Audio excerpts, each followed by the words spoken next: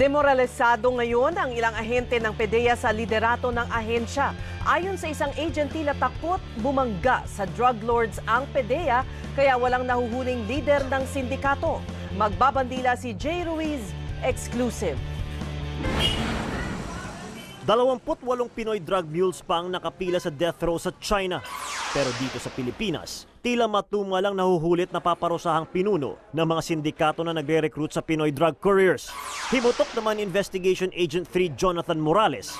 Mula ng pamunuan sila ni Director General Arturo Kakdak, wala na umuno silang nahuhuling drug lords. Hindi ko nga maintindihan sa kanila kung natatakot sila dito sa mga drug groups na to o meron talagang nakikinabang dito sa mga drug groups na to.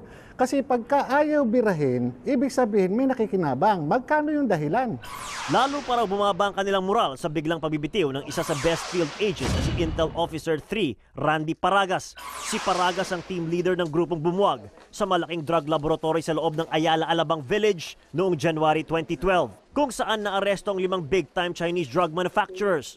Ang gusto niya, mag-concentrate kami sa papiso-piso kesa doon sa kilo-kilo. Ang dapat binabanatan dito, kung gusto mo matigil, banatan mo yung pinakaulo. Tumangging humarap sa kamera si Director General Kakdak pero posible anyang naghihinakit lang si Morales dahil hindi nabibigyan ng malaking assignment. Iniimbestigahan umano si Morales kaugnay ng isang extortion case sa isang drug lord noong isang taon.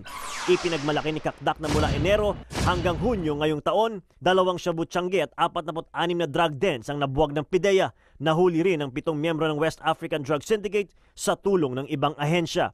Para sa Bandila, J. Ruiz.